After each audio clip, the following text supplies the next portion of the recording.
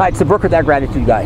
I'm in Vancouver, BC today with my close personal friend Michael James, the social media maven, as he's become to know, be known throughout the country. And I'm here to ask Michael today in this gorgeous setting what he's grateful for. So, Michael, what are you grateful for?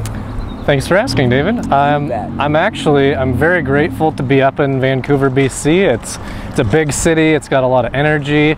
There is a different mindset here, which is nice. I'm actually from Bellingham, Washington originally, and I've decided to come spend a few months up here, get acquainted with the area, get, meet some people, kind of do some heavy networking, and just try and take my business to more of an international scale.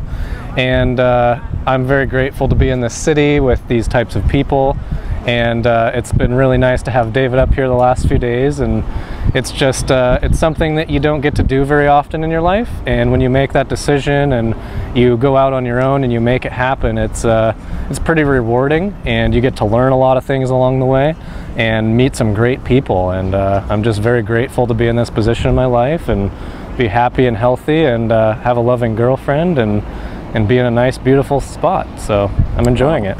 Excellent. Well as is always the case, I couldn't have said it better myself. A good example of how gratitude gets cuts across all aspects of our life, from a new girlfriend to a beautiful city to all the thing that Michael's uh, things that Michael is doing. And for somebody to be that actually forward thinking and already having planned almost half his life at this young age, well, I'm quite inspired by the next generation. So, a perfect example, Michael James. That's the message for today. We'll see you in a couple of days. Take care.